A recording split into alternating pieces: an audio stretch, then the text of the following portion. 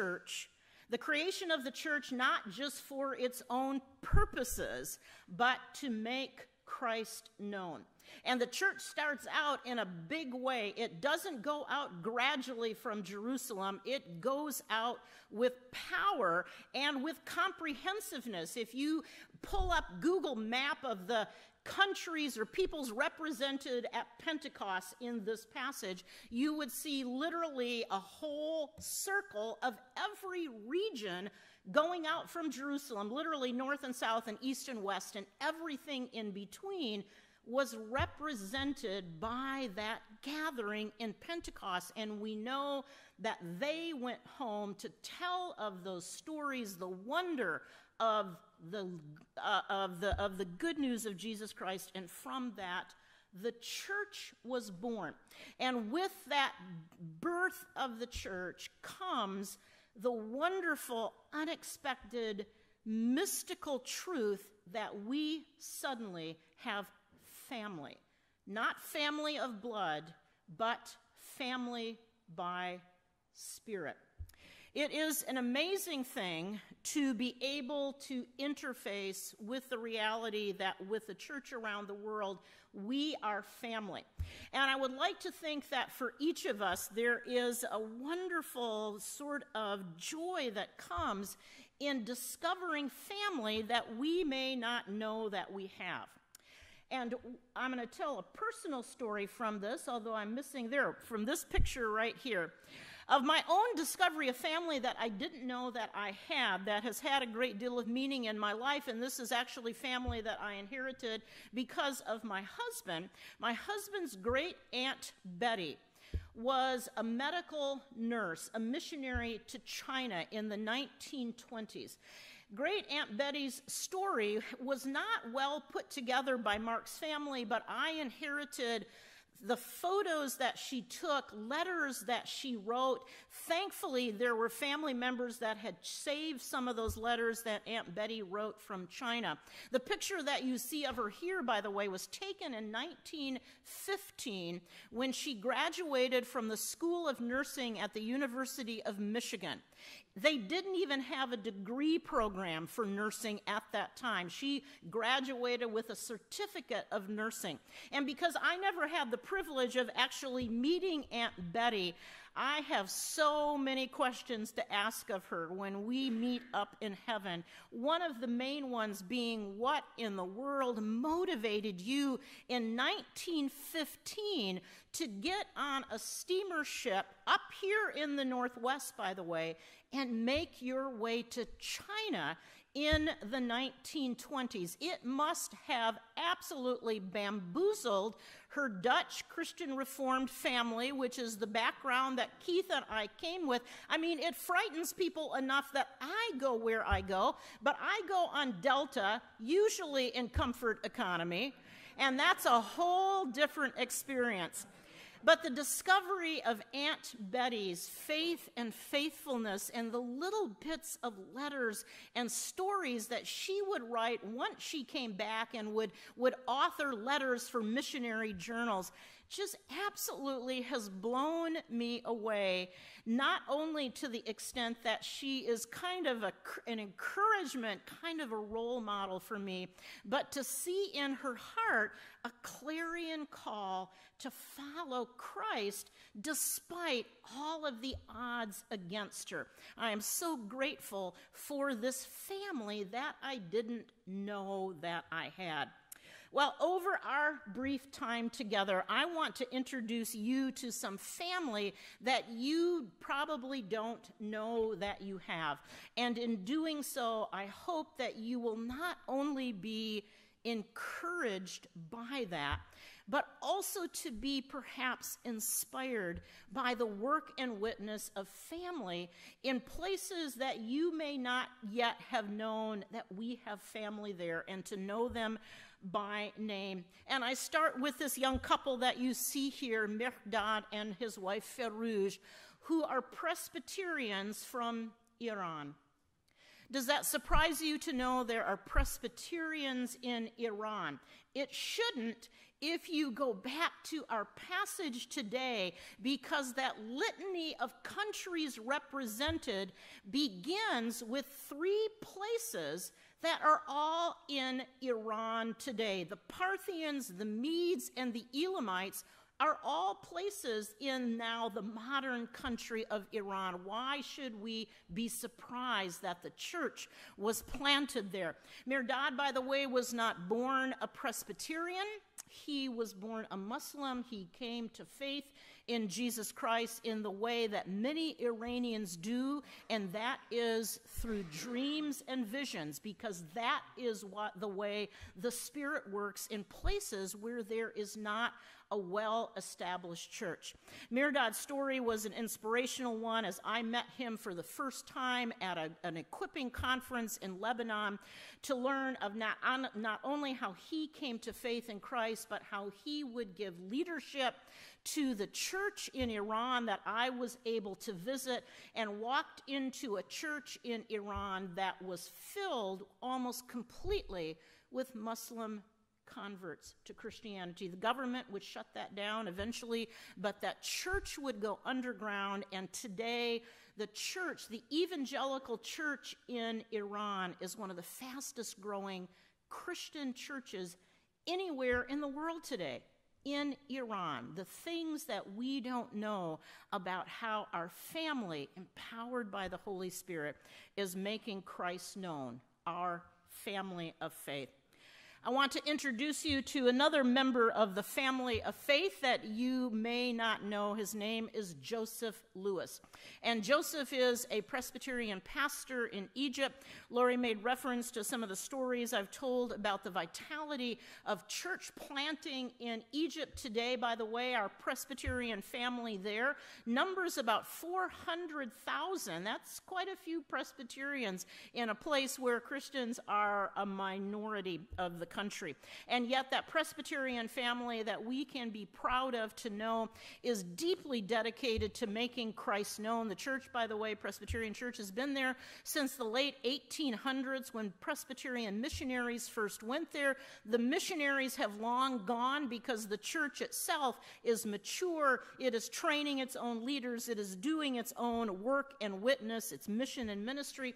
And Joseph Lewis is a good example of that. I met him first when he was a student at the Evangelical Theological Seminary in Cairo and began to learn about his story. One of the things that's very noticeable, two things noticeable about Joseph, is this big effervescent smile that never seems to leave his face. And the other thing is that he walks with a very pronounced limp. And I would soon learn Joseph's story how, as a young man, he was on a crowded train going from his home down in southern Egypt up to Cairo, when somewhere along the way he fell off the train because of the crowding. He was run over by the train and he lost his leg. Because he came from a poor family, they did not have access to medical care. Joseph made his own prosthetic leg and eventually would make his way to seminary in Cairo. After seminary, he was ordained and, and, and um, sent to a church in one of the poor suburbs of Cairo, where he served for a number of years, and now he has been called to the Evangelical Theological Seminary in Cairo, the Presbyterian Seminary, to be a professor, very appropriately, of pastoral care of someone who can speak to people who have been hurt, who have gone through difficult circumstances. Joseph Lewis, part of your family that you did not know that you had. Followed here by this wonderful woman, an elder from the Presbyterian Church in Cuba. Lori mentioned that I have responsibility for the work of the Outreach Foundation in the Middle East. I also have responsibility for the church in Cuba, which is a great delight. And as I kind of say, a little bit kind of off sides with a bit of irony, it's one of the few places I get to go that are not at war from time to time, although Cuba has its own problems and actually is on a long projected war with the United States through these deep political divides that separate us, but they cannot separate family. And so since 2020, no, since 2000, I should say, I've been traveling to Cuba, bringing others with me to meet our Presbyterian family. And Mercedes Cardenas, who you see here, is a remarkable Presbyterian elder who I would meet from time to time in the small village of Sabanilla. She is now well in her 90s. She is still going strong. She's a retired teacher, by the way, an English teacher. Rail thin with these thick glasses that exudes joy to welcome you to her village, to her church, to be part of her family. Mercedes came to faith back in the 1920s, as she talks about, 1930s, when, when evangelists first came to her village. A church was born. She became part of that. She talks about its thriving nature when suddenly, with the coming of the communist revolution, everything changed and almost every Christian in town left. And for about 30 years, Mercedes was the church in Cardenas until in the 1980s, the church began to reconstitute itself.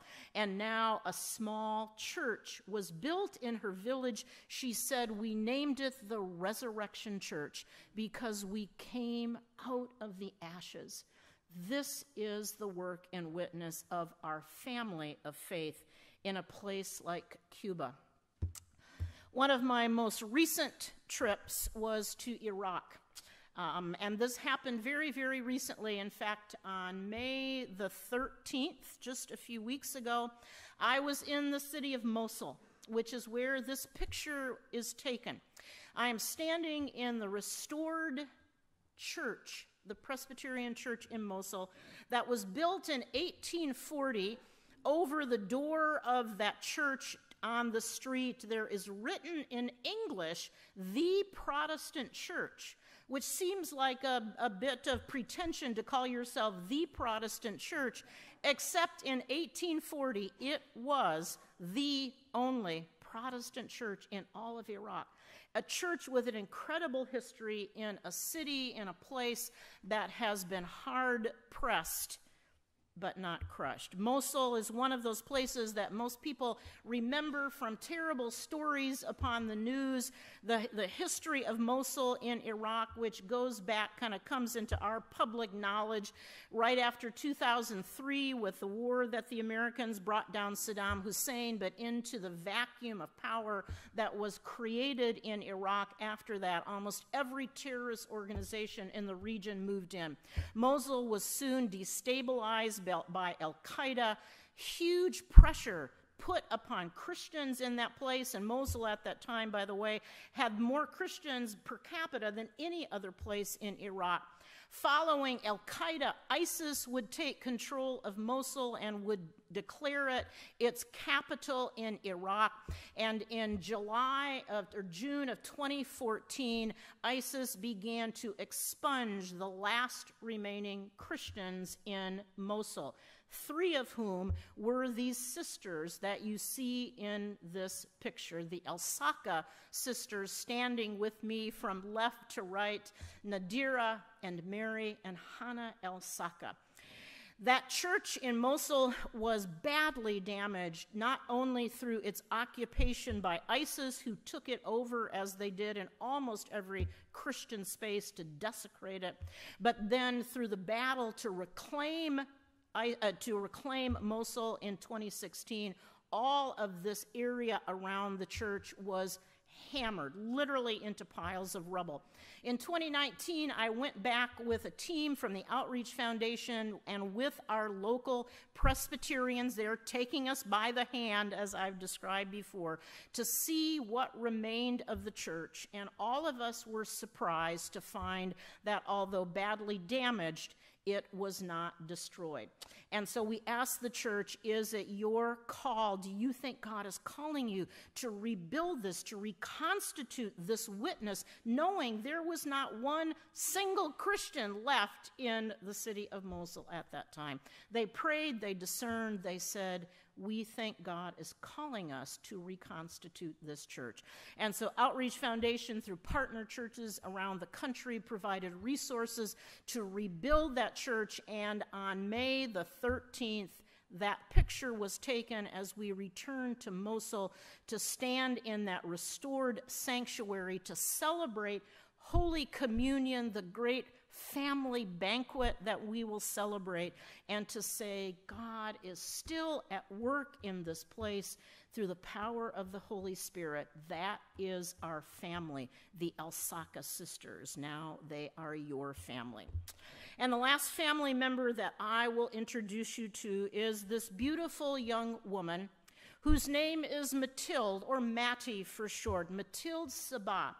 She is one of the youngest Presbyterian pastors serving in Syria. She is also the most recently ordained pastor and the first woman ever ordained in Syria. The first woman ordained in Syria, this young woman, your family, your cousin now, Matilde. I've known Matilde for a very, very long time. I met her when she was a university student attending a, a conference for young people in Syria that had been brought together through some of the 20 Presbyterian churches that make up our family of faith in Syria. And Matilde, at that time, was finishing her degree in English literature, so she spoke, spoke, fluent English. I met her with her brother Jake Yakub, who had just graduated from seminary and was on his way to be ordained into a church. And Matilde said, I want to follow my brother to seminary, which she did. She followed her brother to seminary, and about that time, the war broke out in Syria. And as she completed her seminary degree, the Synod of Syria, Lebanon, the, you know, the, the Assembly of Presbyterian Churches said, We don't think it's a good idea for you to be sent back to Syria in the midst of the war. And Matilde said, Au contraire, this is exactly when I need to be sent back to Syria. And she was because she went to serve her own home congregation of Hasake up in the far northeast corner of Syria, far from any other church. This beautiful young woman went to serve against all odds. She is still there serving that church since returning home Thanks be to God, um, a wonderful young man was brought into her life, Isa. They married, they have two young daughters in this far remote region of Syria, where now this newly ordained young woman is building the church, growing the church, 15 families, but on Sunday, on Friday morning, when Sunday school happens, there are 200 children in that sanctuary in a, in a church of only 15 families. She is re- preaching the gospel to her community. They are flocking to sit at the feet of this young woman, Matilde, and to see her face, to meet her. You may understand why that is. There is a power and a passion that comes not from her, but from the Holy Spirit. Be proud to know her as family. Lori was kind to mention the fact that Outreach Foundation presented to this church the possibility to partner in one specific project in Syria that is rebuilding the church, helping it to re equip itself. The Aleppo Christian Center is going to be one of those places for theological education and reflection so that Syrians don't have to leave the country to find that kind of equipping. They can do it in house, and it will serve people like the next generation of Mattie Sabah's family that we can be proud of, family that we can be encouraged by.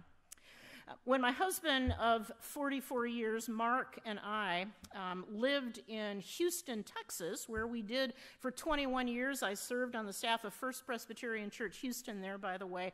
But when we first moved there, so some of our first family, some of our first friends, became Al and Anita DuPont.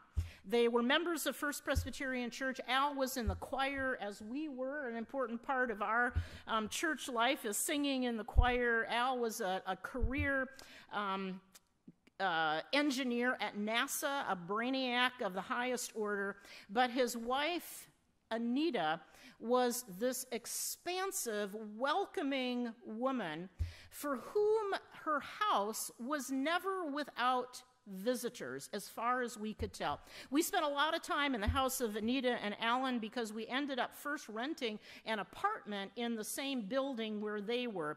And we were invited to gathering after gathering after gathering, and we were always amazed by whenever we would go to the DuPont's house for coffee or a glass of wine or a dinner, there would be many people that we knew, that we had met, that were members of First Pres Houston, but then there would also be strangers, someone that she had met or an acquaintance of someone else.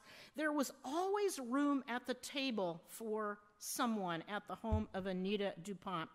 And one time, Mark and I reflected upon that fact, kind of the wonder of that, that there was always room at her table for strangers. And Anita just kind of smiled a little bit, and we'll never forget what she said to us. She said, You know, I, I think there are only two kinds of people family and family we have not yet met. And I thought, that will preach. That is actually the message of Pentecost the family we know and the family we have not met. The global family that is the church who are on the front line of making Christ known. How wonderful that they invite us to come alongside them in their work and witness, to encourage them to be humbled by their faithfulness and their perseverance, but through that power of the Spirit to unite in the one mission of the church, which is to make Christ known till every knee bow and every tongue confess that Jesus is Lord, because he is. Thanks be to God.